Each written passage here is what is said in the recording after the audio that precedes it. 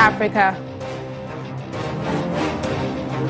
Unknown gunmen kill over 100 people in an attack on a village in western Ethiopia. Violence surges in Bangui in the Central African Republic ahead of the presidential elections come December 27. Plus, Spanish Coast Guard rescues 49 African migrants near Gran Canaria.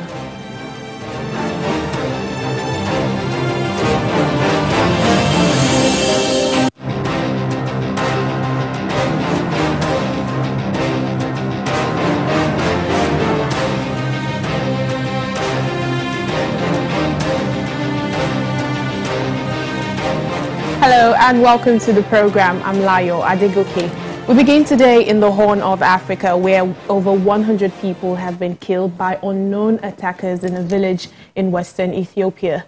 Wednesday's attack in the Benishangul-Gumuz region comes one day after a visit by Prime Minister Abiy Ahmed.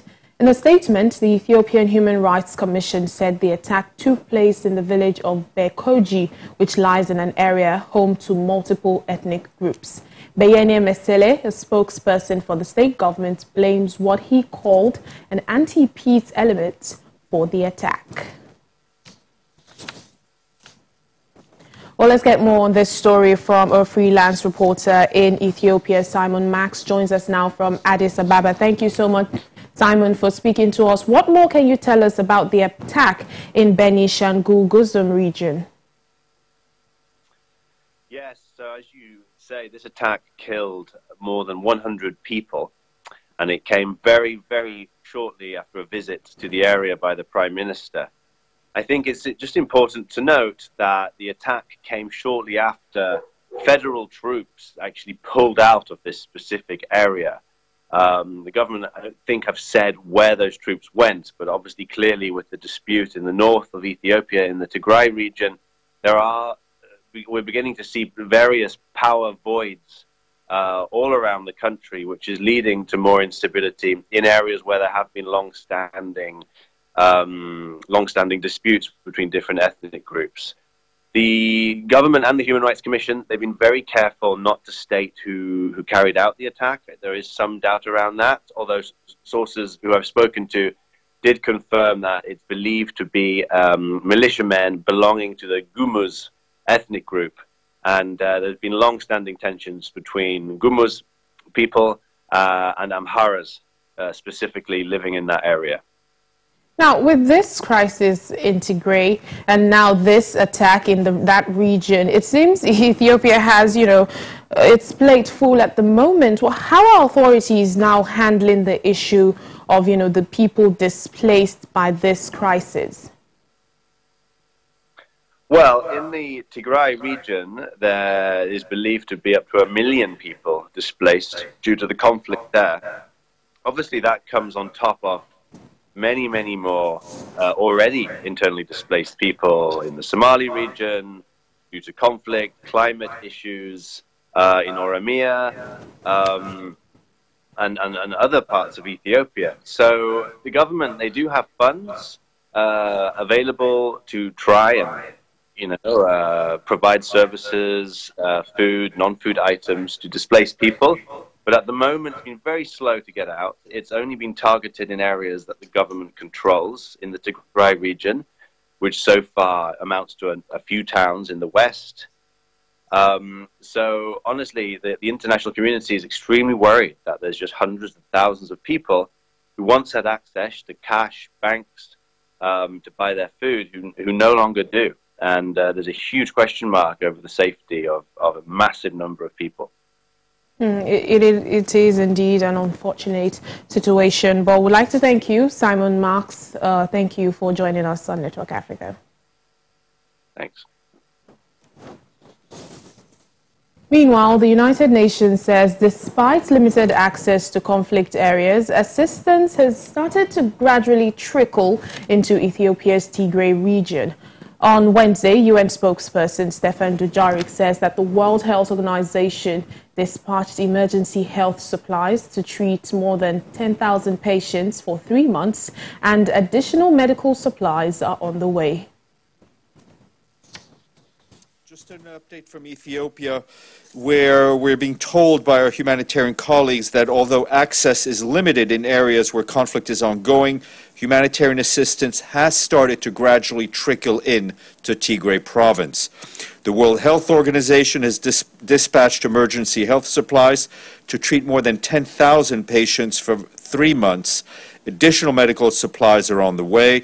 The World Food Program managed to deliver food for 35,000 refugees in Adi Harush and Mai Aini camps this week, but the convoy to Hitsats and Shimelba refugee camps have returned due to insecurity in the area. Water treatment uh, chemicals were also provided to internally displaced people in northern Amhara as well as western Tigray. Water, sanitation, hygiene, and non-food items are also pre-positioned in northern Amhara and western Afar for 5,000 internally displaced people. And our colleagues uh, at OCHA also, together with the logistics cluster for the UN led by the World Food Program, agreed uh, with the relevant authorities on setting up temporary humanitarian information sharing mechanisms Move on to politics. Now, the UN mission in the Central African Republic, MINUSCA, has denied reports that the UPC armed group has taken control over the town of Bambari. Now, the UN mission says that the UN peacekeepers are patrolling the streets and the situation is under control even as the country approaches its election day, December 27th. Colleagues at the UN peacekeeping mission there today denied press reports that were claiming that the town of Bambari had fallen and remained under the control of the UPC armed group. The UN mission says that UN peacekeepers are patrolling the streets and that the situation is under control. MINUSCA, the peacekeeping mission, launched operations yesterday to expel the UPC combatants and retook full control of the town following an attack by combatants against the uh, Central African Gendarmerie forces.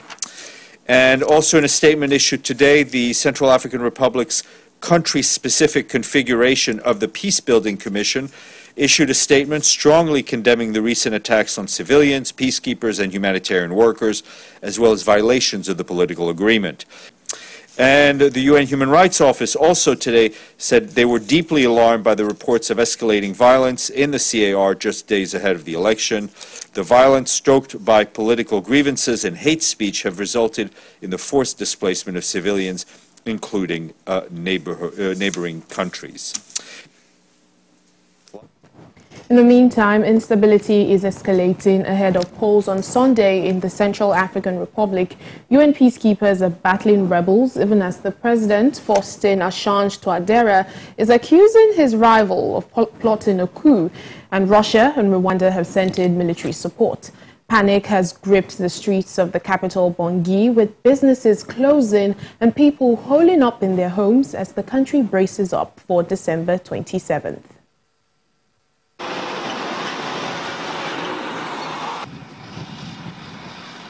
Bangassou may appear calm today, but the town's recent history is written on bullet-scarred buildings and on streets littered with rubble. With an election on Sunday, there are fears that a new chapter in Central African Republic's history of ethnic and religious violence is about to be written. Security forces and UN peacekeepers are in battle with rebels who have seized towns and roads and are threatening the capital Bangui and world powers have also been drawn into the conflict. In Bangassou, Ismail Dickey knows the cost of such violence. All that we went through, it was really difficult. We can't speak of good things. We lost our parents, our belongings, our homes.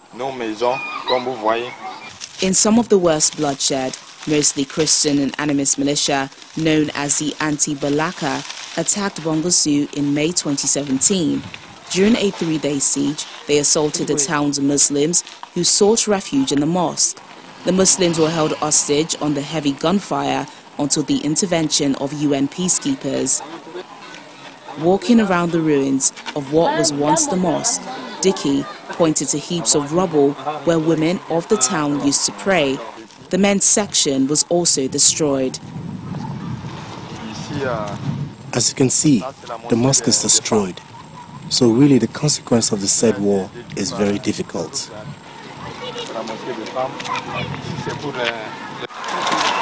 For another resident, Ali Idris, the insecurity is worrying.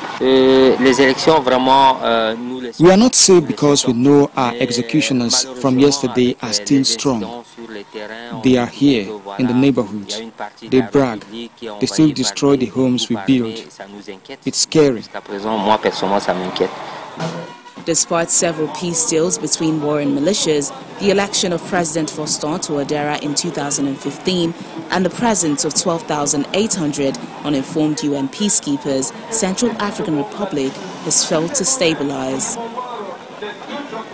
As election day approaches, some opposition parties have called for the election to be postponed, but that's been rejected by the government and the United Nations, which has placed its troops in the capital and other regions on high alert and vowed to protect civilians and secure the vote.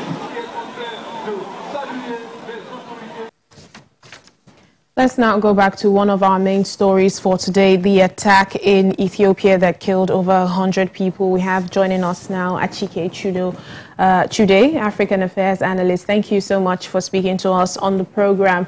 Now, what do you make of this latest development? Ethiopia is still struggling to cope with the fallout of, you know, the Tigrayan crisis, and now this deadly violence in the Benishangul-Gumuz region. What do you make of all of it? Well, I think it's um, another big in Ethiopia. Um, might not know that uh, Ethiopia for a very long time has been um, in all kinds of uh, violent crises. Uh, in the decades past, Ethiopia has fought five wars, two of them against Eritrea, one which lasted for about 30 years, one against Somalia over the Ogaden region, and then two civil wars. And then, like you said, about six weeks ago, the attack, uh, you know, the uh, the seizure of uh, federal troops and then the uh, the, the, trouble with you know the Tigray region of Ethiopia. Right now, there's also insecurity threat along you know by Islamist militants along the eastern border of of Ethiopia.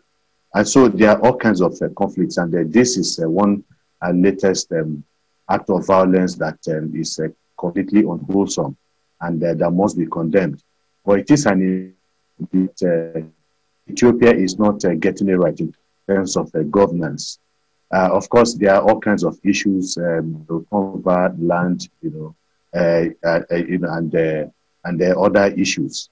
obviously, the government at the center is being hard put to try to handle some of this crisis.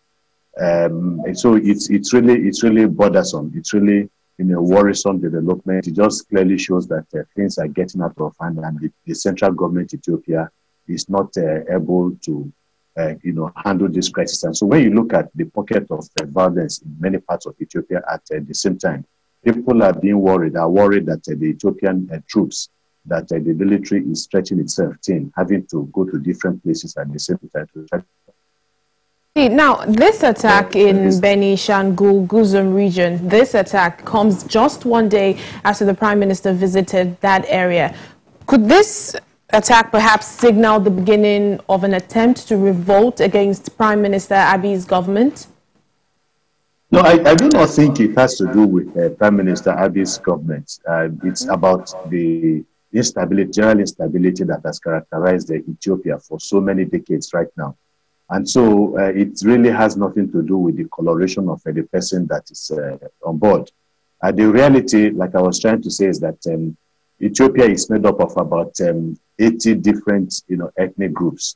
Uh, not a few days ago, after this recent attack, Prime Minister Abiy went on Twitter and there was tweeting that um, some people are trying to divide Ethiopia along religious and ethnic lines. And so there are natural fault lines you know, ethnicity and religion are playing a part. And obviously people are trying to take, you know, advantage of, of that. Uh, this has been the lot of Ethiopia for a very, very long time. And uh, I think it is something that uh, the political elites who have refused to actually build Ethiopia along, you know, strictly federal lines to allow the various units of Ethiopia to participate in national life and national development, it is high time that they begin to do that. So it is the perennial problem that has characterized Ethiopia uh, for so many decades, and not essentially something that is against, uh, you know, Abiy. And you know, the funny thing about, uh, or the strange thing about uh, Abiy, you know, being a, a, prime minister of Ethiopia, is that uh, he, this is the first time somebody in 2080, when he came to power, the very first time that somebody from the majority tribe that constitutes more than half of the population of Ethiopia, you know, has been allowed to come to power. Uh, you know, and so uh, but it is something that uh, Ethiopians really need to sit down. The political leadership, the elites need to sit down to ask themselves how they can actually begin to build, uh, you know, a, a, nation that is for all. Much, uh, Mr. Achike Chudo, African African Affairs Analyst. Thank you for your thoughts on our program. A pleasure. Welcome back to the program. The Spanish Coast Guards have transported 49 African migrants who were rescued in the Atlantic Ocean to Arguineguín port in the island of Gran Canaria. Interior Ministry figures show more than 21,400 migrants have arrived in Gran Canaria by sea this month. That is an eightfold increase compared to the same time last year. The large hike in irregular arrivals poses a logistical challenge for the authorities in the Canary Islands, who have had to find alternative reception centers as existing centers are filled up. Arrivals of migrants in the Canary Islands has increased in 2020 as they look for alternative routes due to increased patrolling off the Mediterranean coast of southern Spain.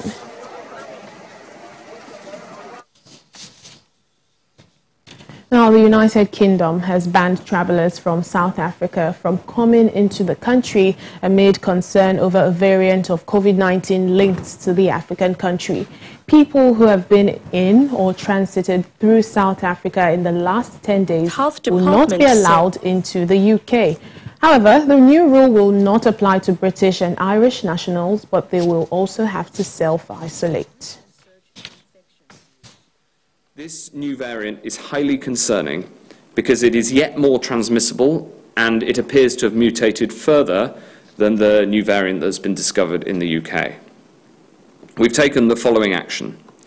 First, we are quarantining cases and close contacts of cases found here in the UK. Second, we're placing immediate restrictions on travel from South Africa. And finally, and most importantly, anyone in the UK who has been in South Africa in the past fortnight, and anyone who is a close contact of someone who's been in South Africa in the last fortnight must quarantine immediately. Tunisia's health ministry says the country will extend its nightly curfew until mid-January. Now, this decision follows the recommendation of the country's COVID-19 scientific committee. More than 120,000 positive cases have been recorded since March, but the majority of infections are said to be from recent months. The health ministry says the new strain of the virus has not been recorded in Tunisia, and the country plans to roll out vaccines in the month of April. Official figures show that the death rate is at an average of more than 40 per day, even as 77% of ICU beds across the country are now occupied.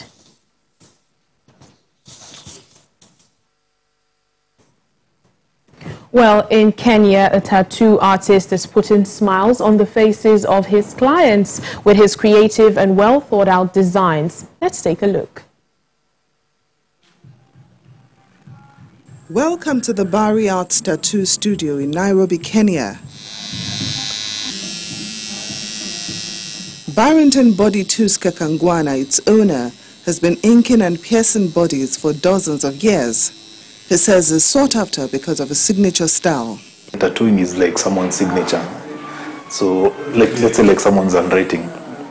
So some people get interested, like uh, they like someone's handwriting more than yeah so maybe like with my different form of art i i i, I just uh, had this passion of making it a bit different in a way that i can't explain in a way that many people got interested in knowing how Barry is doing now, Barry Tusker is doing the art.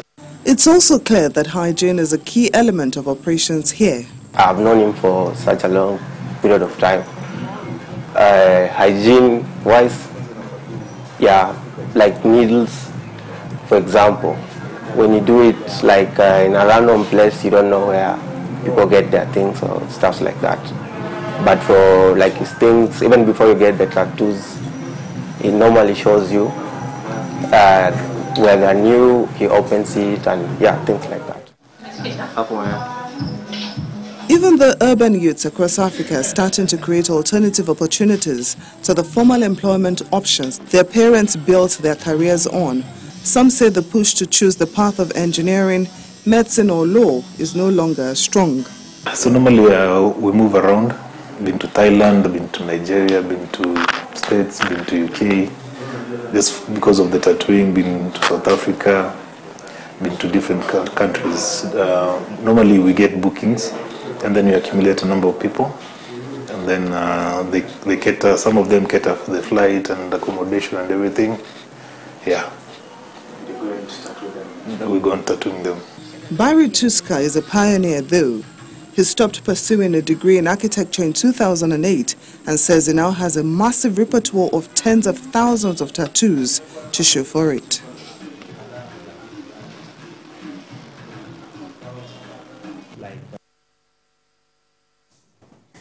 Well, just before we end the program back here in Nigeria, following weeks of herdsmen attacks in Benue State, one of the Middle Belt states in Nigeria, stakeholders are calling for the inauguration of a community policing squad to help track and tackle issues of insecurity across the state. On the 12th of December, residents of Makurdi, the Benue State capital, woke up to news of an attack by suspected herdsmen, which led to the death of four persons while seven others were injured. Four days later, a lawyer, Mr. Moses Udam, his pregnant wife, and an aged man were hacked to death by suspected herdsmen who are said to have now taken control of the riverine boundaries of Makurdi, Gwer West, and Agatu local councils.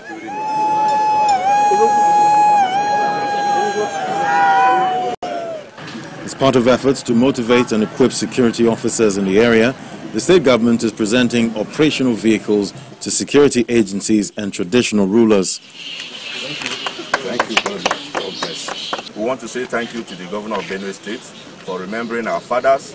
We have a situation where most of them uh, ride on Okadas, and that is not a beautiful sight at all. The governor has shown the humane part of him. He has shown that uh, he has compassion right in him. I must let the governor know that we so much appreciate all the effort he's making to make sure that uh, there is peace and security in Benue State. Although the gesture is commendable, the traditional rulers are seeking for immediate inauguration of a community police squad. We are appealing that the, the community police yet to be inaugurated, be inaugurated so that we have them in every nook and cranny of the local of the state so that we'll be able to fight insecurity. After the presentation of staff of office to the traditional rulers, Governor Ortom assures youth of inclusive approach to governance that will address both insecurity and wealth creation. The leadership of the youth in the state will meet with the State Executive Council early next year to work out a blueprint for the establishment of the commission. Over 100 vehicles ranging from operational Hilux trucks and cars were presented to the beneficiaries to aid timely response and coordination in matters of safety and security. Thank you so much for watching Network Africa today. That's it on the program. I'm Layo Adegoke.